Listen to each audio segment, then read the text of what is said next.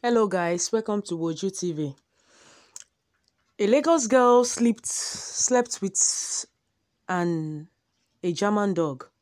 Why do that? Everybody is complaining why she have to do that and I've seen some comment, lot of comments, everybody wondering, everybody asking the reason why. What is the reason why she did it?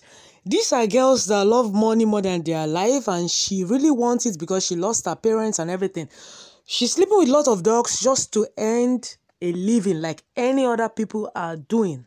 And the reason why she's doing it, she's doing it because of money. She wants to be among the top girls in Lagos, Nigeria. She wants to have a house in Lekki like she she has now. She has a nice car in Lekki, Lagos, Nigeria. She have a nice house, nice car, nice. She wants everything. So why is she doing it? Now she she's a little bit wondering and she's confessing that even the dog that she's sleeping with, the dog is more better than normal men. It's very, very strange that she love the dog more than sleeping with normal men. So that is not nice. She get used to it and every day she can sleep with 13 dogs every day. She can sl even sleep with 20 dogs every day. They give her 1.5 million naira anyway, more than that, to sleep with people's dog. Why she do it is because of money.